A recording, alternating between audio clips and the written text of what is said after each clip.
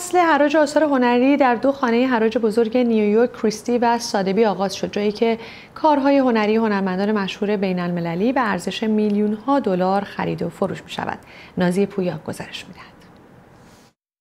سالواتور موندی اثر لئوناردو داوینچی آخرین کار این نقاش و مخترع ایتالیایی که در دست یک گردآورنده خصوصی آثار هنری بود و اکنون حراجخانه کریستیان را به مبلغ حدود 100 میلیون دلار در معرض فروش قرار داده است. این فصل حراج ویژه‌ای برای ماست و ما مرزها را میشکنیم از جمله با نقاشی که در حدود سده 1500 توسط لئوناردو داوینچی خلق شد.